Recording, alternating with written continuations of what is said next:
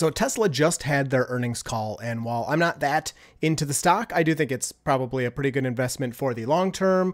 Although short to medium term, it might be a little rocky, uh, which is kind of what Elon said himself. We did get several updates about Tesla's full self-driving program that I wanted to talk about here today, uh, and most notably, I wanted to start with number one. It looks like there's a delay in the AI5 hardware. So if you're not familiar, Tesla used to call their self-driving hardware, so like the computer chip mostly is what we're talking about here, but you can also think about the cameras that are connected to that computer chip.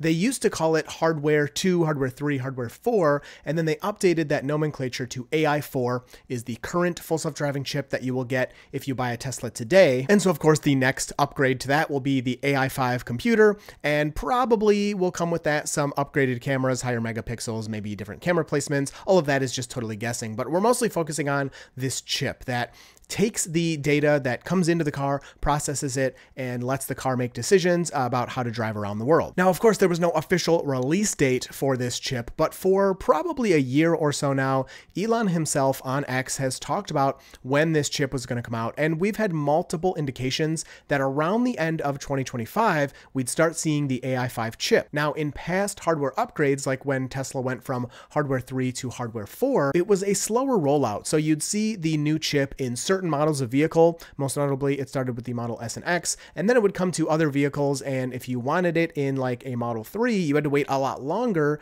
than if you wanted the hardware 4 setup in a Model Y because it came much sooner to the Model Y. And while we would expect the same thing to happen with AI5, so we were hoping it was going to start coming out around the end of the year, maybe the first half of 2026, we would think that it would maybe be in one or two models. Maybe it would first be shown in the Cybercab and then come to Model Y and then come to other vehicles. Now I say Model Y because that's the current Robotaxi taxi platform. But anyway, it looks like that's been delayed all the way to the end of 2026, probably leaking into 2027. So Elon said AI5 is a spectacular chip, hopefully in volume production at the end of 2026. It's so powerful that Tesla may have to nerf it to some degree for markets outside of the US because it blows way past the export restrictions. Now, I tried to look up some of these stats to see if it would be simple. Of course, nothing coded into law is simple. Uh, and a lot of what I'm about to tell you is like from AI summaries and stuff, so definitely take it with a big grain of salt. And if we look at the NVIDIA A100 at 312 teraflops, it is a controlled processor, whereas the NVIDIA H100, which Tesla has talked about, uh, Elon's talked about getting a bunch of these for XAI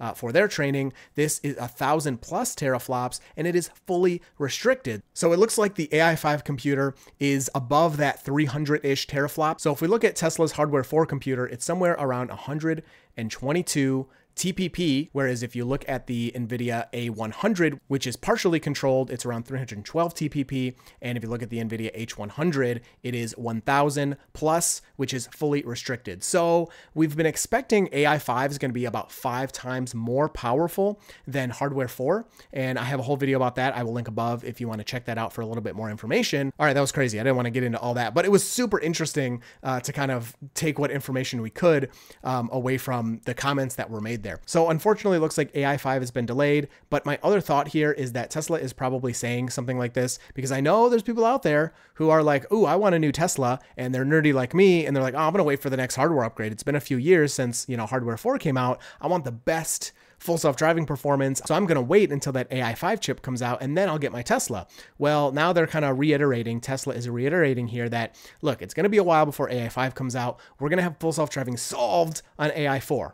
We got to take it with a grain of salt though, because it's not solved. So Tesla doesn't know if they're actually going to solve it until it actually happens. Now, I can guess that if you want a new Tesla, you probably want to wait for AI5, but that decision has become more difficult. Now, I can also guess that you want your personal information deleted from the internet, and that's where today's sponsor, Delete Me, comes in. Data brokers are sneaky entities online collecting your personal information like your email address, your home address, your phone number, your family members, and all kinds of data about you. They then turn around and sell this data, and they don't even give you a cut when they make money off of your personal information. Well, well, with Delete Me, a service I have personally been using for over two years now, you can get your personal information deleted from these data brokers. Delete Me saves you hours and hours of time going around to these websites, requesting takedowns, and getting your information deleted and removed. I recently got back a privacy report from Delete Me showing they found my information on even more websites and they got it removed from those websites for me. When your private information is floating around on the internet like this, it can lead to identity theft, phishing, or other scams. So this is an incredibly important service. Use my link down below to save 20% on Delete Me right now and check it out. They have plans for you, or they even have family plans so you can keep yourself and your family protected all at the same time. Save time and get your information deleted from the internet simultaneously. Thank you so much to Delete Me for sponsoring this video. Now, what I also find related to that is retrofits. So, Hardware 3 on Tesla vehicles, according to Tesla, is probably not going to be capable of unsupervised full self-driving. And so it was mentioned that Tesla is going to retrofit hardware 3 cars so that they'll have this capability. Now, we don't know how the retrofit's going to happen. We don't know what's going to be changed. Uh, we don't know uh, what Tesla's metrics are on what unsupervised is exactly going to constitute, although that has become more clear in that it probably means you can sleep in the car and it can take you A to B, which is great. That, that sounds good to me. Um, and so retrofits were brought up again thanks to the uh, questions from shareholders. And the question was, was Is there any news for Hardware 3 users getting retrofits or upgrades? Will they get Hardware 4 or some future version of Hardware 5? And the response was kind of not that great, in my opinion. They basically said they want to get unsupervised done on Hardware 4, and then they will go back and see what to do about Hardware 3. The focus is to get unsupervised out, then we'll go back and see what more work we'll need to do. So, oh, that's tough. Now, Hardware 3 owners, ever since the one mention that they were going to get, a retrofit, uh, have not stopped, and they should not stop. They're still bugging Tesla all the time, saying, hey, you know, what's going on? Give us our retrofit. And they're totally justified in doing that. Tesla told them back when they purchased their vehicle, if you purchase full self driving, it will be capable of full self driving eventually. That didn't say, if we can figure it out on your hardware or anything like that. So Tesla's on the hook. They got to do something for these hardware 3 owners. But I've been saying they're going to put this off as long as they can. The longer they can put this off, the more hardware 3 cars will naturally be off of the road and the less work and money Tesla will have to spend to get this problem solved. Tesla continues to offer free full self-driving transfers. So if people do get a new car, they can transfer their FSD from their current car to their new one absolutely free. They started now doing this in uh, Europe and I think China as well. Uh, so so this is something they're trying to get you on the new cars. Again, I'm not saying you should do that or you have to do that. I do think it's it's a good deal if your car is you know five, six, seven years old anyway, and you're like, okay, I kind of want a new car, and you get that you know perk, you can transfer that FSD over. It's something I would take advantage of, and I actually have done that before. I've transferred my FSD from a hardware three car to a hardware four car, but it's not something everyone wants to do, and so Tesla is going to have to solve this. Improvements in FSD lately have led to more adoption. There's been a 25% increase in the take rate since they lowered the prices on full self-driving. Now, this doesn't mean there's a 25% take rate. It means whatever the take rate was, it increased 25% when the prices came down. So that's good news. Good news for Tesla. It's good to see. But what's crazy about this? Tesla said that cars on FSD are 10 times safer, which should be a huge motivator. And it makes sense. You know, if you know that you're 10 times less likely to be injured uh, while driving just by using FSD, you'd probably be more inclined to use it. But Elon said that half of Tesla owners who can use FSD, so half of the Teslas on the road that are capable of full self driving, have not used it one time. This is crazy to me. I can't even believe it. How could you own a Tesla, own this car that has this capability, and not try it one time? I understand not liking it. I understand not wanting to use it. I understand not wanting to pay for it, not wanting to buy it, but not trying it one time. Tesla has sent out so many uh, free trials of full self driving for people to try and you you don't even turn it on. You get the free trial. You get the email. You get the pop up in the car that says, "Hey, you have you know free full self driving." Turn now. There is a, a, barrier to entry here. You got to go in the menu and turn it on and accept and, and click this thing. I mean, it takes like two seconds, but any of those barriers to entry uh, are gonna I guess result in this half. I mean, that's crazy. That blew my mind. I cannot believe it. Now, I did post on X and said, yo, you guys got to gamify this. I actually was on with Farzad a few months ago, um, and we were discussing like getting people to use full self-driving. And this is an idea we all kind of came up with at the same time. Somebody suggested, hey, you should, you know, give them a bonus uh, if they use full self-driving. And I was like, oh yeah, and and maybe if they use it for 10 miles, they get this, and then 20 miles, they get this. And so we kind of came up with this idea, and I posted that on X. And I do think it's a great idea. If you use FSD for 50 miles, you get 10 miles of free supercharging. You use it for 100 miles, you get a free burger at the diner, uh, you know, the new Tesla diner, something like that. That would bring this take rate, in my opinion, pretty close to 100%. People love free stuff, and that would make them use FSD like immediately. So Tesla did say they had a successful robotaxi launch, uh, more than 7,000 miles in Austin with no notable safety critical incidents, you know, whatever that means. Uh, they, they do restrict the cars to 40 mile per hour roads though, which I found interesting. And sometimes they said robotaxi wants to go onto faster roads and they stop it from doing that. And so I think that was an example they were giving of like an intervention that they have to do or a disengagement that they will perform, but it's not safety critical. It's just their preference is to not use those roads.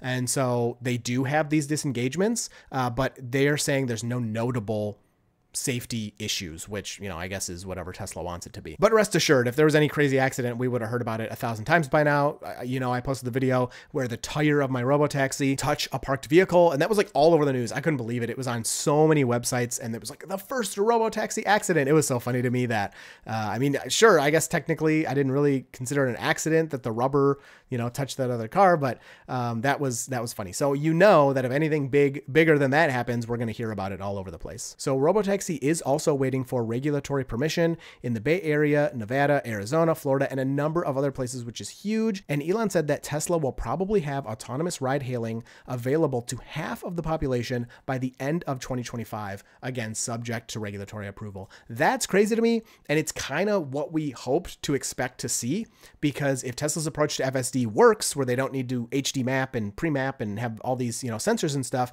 it should scale fairly rapidly once they're able to start using it. Now, we're always skeptical. We don't know if that's actually the way it's going to go, but we hope that's what's going to happen. They reiterated several times that they're being super cautious, but that's what they think is going to happen with this rollout. Now, think about where we are today. We're at like the end of August. We just have this uh, relatively small, it's not terrible, but a relatively small part of Austin where Tesla Robotaxi is operating. You know, they increased the area one time, then Waymo actually increased their area. So it's a very similar um, square footage that these two are covering. Uh, but Tesla said they're going to greatly uh, increase the area area in excess of what competitors are doing within a couple of weeks. And they said they will increase to more than 10 times the current operating area. So that's really fast. So we should see within two weeks, you know, two weeks is the meme that we're going to have way more uh, robotaxi rollout in Austin. Now, with that, they need more vehicles because there's still no more robotaxis on the road than there were before. But I think they're probably waiting to get rid of those safety passengers. We'll see how that goes. Now, there was also a question about personally owned vehicles in the robotaxi network. And this has been a huge part of what Tesla has talked about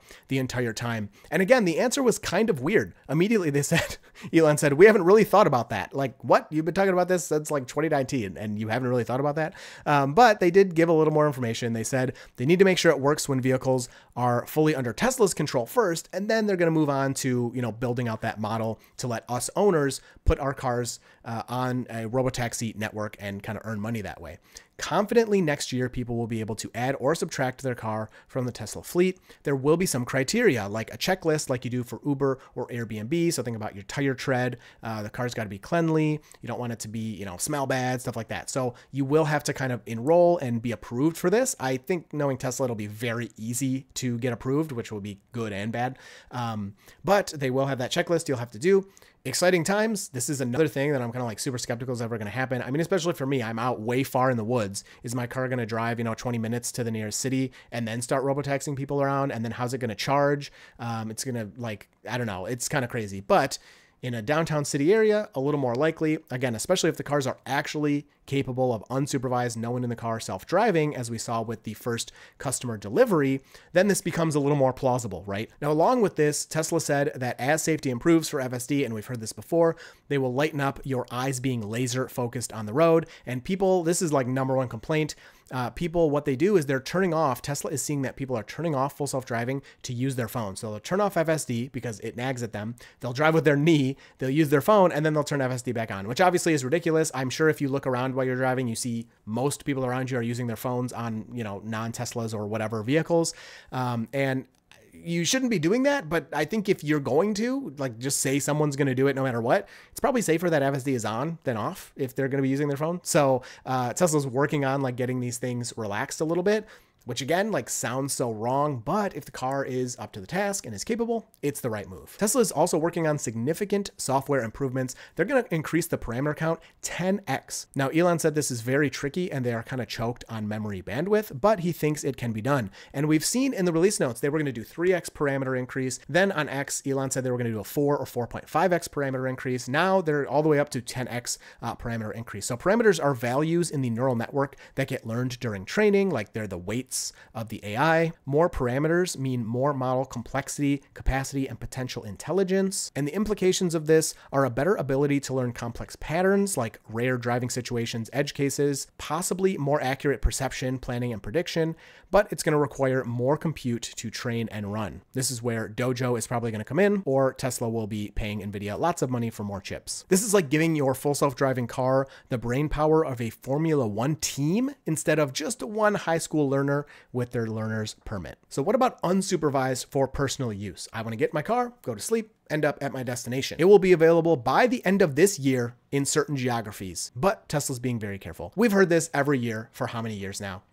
Cool like great. I mean i'm glad that you say that. But like this next by the end of 2026 we better have freaking robo taxis all over the us we better have personal full self-driving cars where i, I can make a youtube video uh, from the back seat while my car drives me you know from point a to point b. Um, if this stuff isn't happening by the end of 2026 i don't know man. I don't know tesla. I don't know. You can't just keep saying next year forever. You've been saying it for 10 years. Things are actually happening now. We have robo taxis with no driver in the driver's seat although yes, the safety passenger. So I, I feel better about it than I ever have. My skepticism is coming down a bit, but only a bit because we've been hearing these same things for so many years. As of right now, every Tesla in the US and Europe autonomously drives to the end of the production line. Cars will deliver themselves to customers by default by the end of this year. Unless the customer doesn't want that, you can specify you don't want it, and then Tesla will deliver it the traditional way or you come pick it up. Let me know what you think about all this down in the comments below. You will see me in the next video.